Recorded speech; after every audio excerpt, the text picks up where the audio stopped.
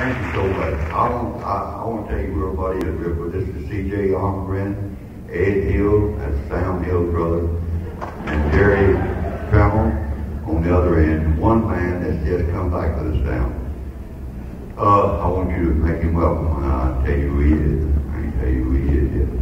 Uh, back in 1980, I disbanded the Stamp Quartet. I wanted to stay home with my beautiful, darling, lovely, precious, angelic, uh, vivacious wife. And I disbanded the Stamp Quartet. And I stayed home with my darling, precious, angel, pretty, sweet, darling, vivacious wife for two weeks. she turned out to be an old heifer, so I